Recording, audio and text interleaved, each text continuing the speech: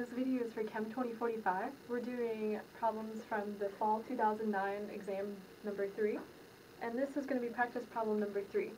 This problem says, iridium has a face-centered cubic crystal structure and has an atomic radius of 136 picometers. Calculate the density of iridium. So the first thing we'll do is write down what we know, and we'll start with what they're giving us in the problem, which means we have iridium, and it says it's a face-centered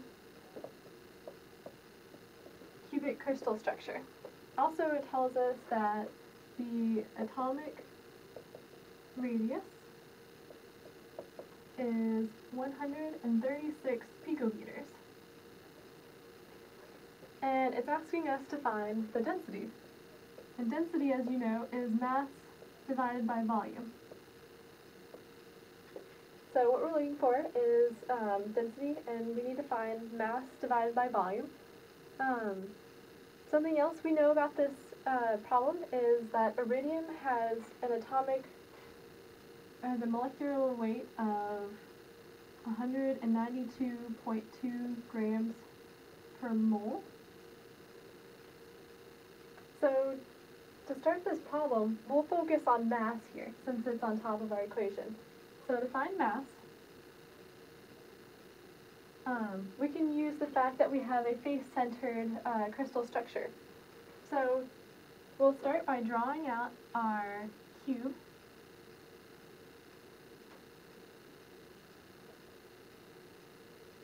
You'll have to know that face-centered means that there is going to be an atom face right here in the center, and then four partial pieces of molecules in the corners. So this is a radius and length, a radius and length here, and then from here to here, this is going to be two radiuses. Make this easier.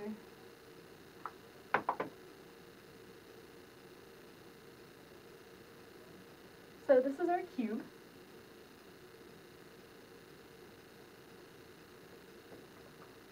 Find the mass of this cube, we need to know the number of molecules in it. So to find the number of molecules, we're going to add all these pieces together. So right now, we, we know we have this face on the side. This is a one half of a sphere.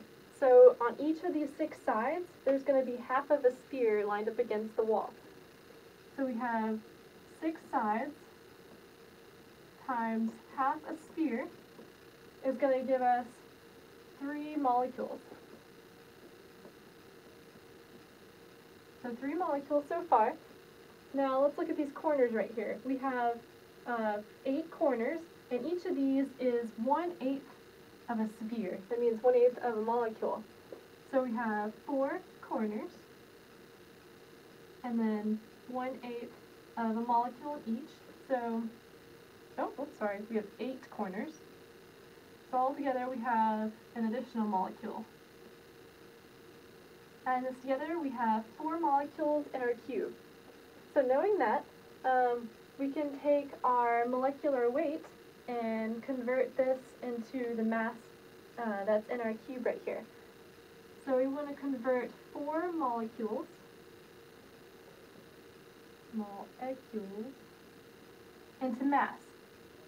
So we can multiply 192.2 grams per mole. We're a little bit closer, but we need to convert uh, moles into molecules down here. We can use that um, with Avogadro's number. So we have 1 mole is equal to 6.022 times 10 to the 23 molecules.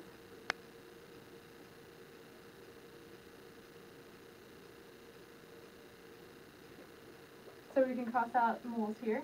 Um, we also cross out molecules. Um, so now we're left with grams. Plugging this into our calculator, we're going to get uh, 1.277 times 10 to the negative 21 grams.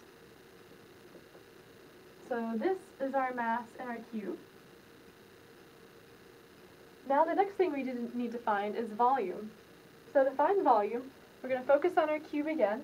Um, to find volume of a cube, we can multiply the three sides together to get volume. So volume is going to be each side, we can say side times side times side length. And that's going to be s cubed. Um, as we figure this out, we're going to designate A to be this side, B to be this side, and then um, to find each of these two lengths, we're going to use the right tri triangle rule. So we're going to need this hypotenuse right across here. Now if we take this and um, move our triangle off to the side so it's easier to see, we have a triangle with sides, side lengths A and B, and then hypotenuse B, I mean C. Now, the only one that we know about is C because we have um, sides touching all along here, so we know that this is radius plus radius plus radius plus radius. So that means C is going to be four radiuses. So we have a number for C. Now to relate C to sides A and B, we can pull out the, um, the right triangle rule. So we have C squared.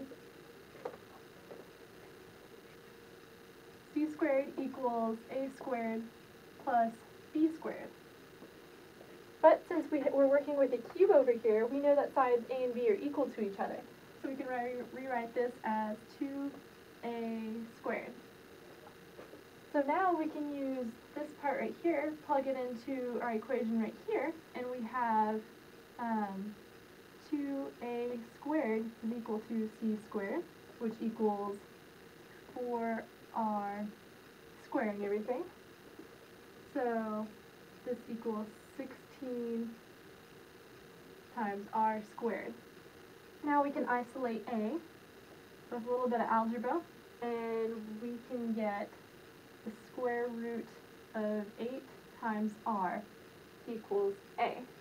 So now that we have a, we can plug it into our equation for volume because side here also means a. So a cubed equals volume. So we plug in our number for a from over here, which is square root of a times radius. And we're going to cube all of this. So the only thing we're missing here is a number for radius. Well, up here they gave us the atomic radius, which is 136 picometers. Um, we're, we want to find out, we see in our answers that we need to find um, our density in grams per centimeter cubed. So we need to convert picometers to centimeters cubed.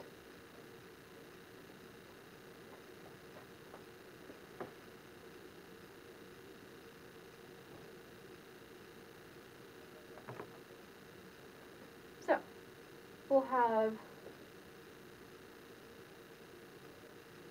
square root of 8 times radius, which is 136 picometers. Converting picometers into meters, we have 1 meter equivalent to 10 to the 12 picometers. And this right here is something you have to memorize. I can write um, 1 meter equals 10 to the 12 picometers, which is also equal 10 to 10 to the 9 nanometers, which is also equal to 10 to the 6 micrometers. So coming back over here, we, we converted from picometers to meters. Now I want to convert from meters to centimeters. So we have 100 centimeters per meter. Now let's look back and see if we can cancel everything. Picometers cancel, meters cancel. Left with centimeters. Alright, good.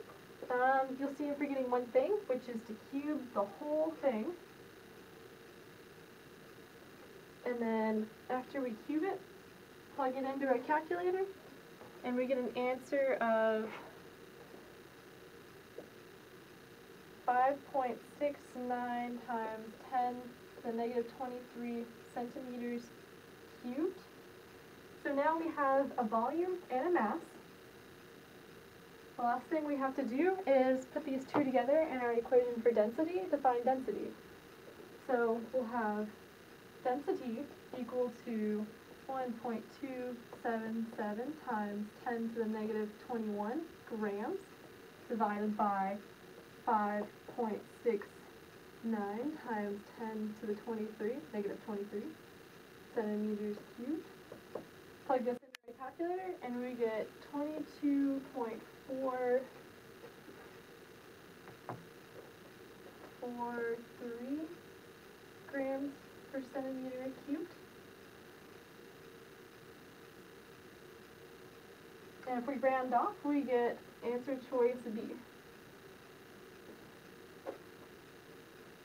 So the key to this problem is knowing what face-centered means, being able to accurately draw out your face-centered cube, and predicting the volume and mass from this cube and the information that they gave you.